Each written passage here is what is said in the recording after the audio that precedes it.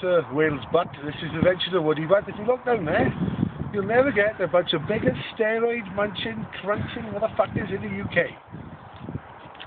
Over to the right down the side, if you look to the right, you see where the upper class comes from.